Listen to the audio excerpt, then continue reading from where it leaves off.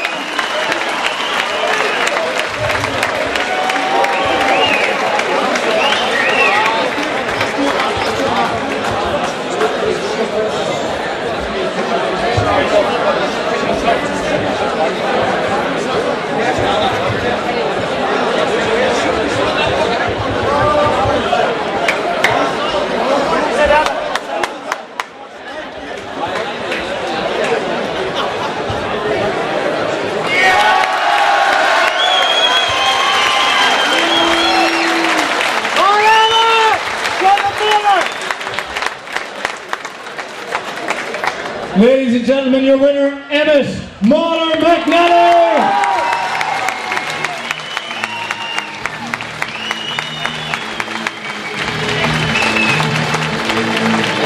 Keep your applause going for Peter Duncan, ladies and gentlemen.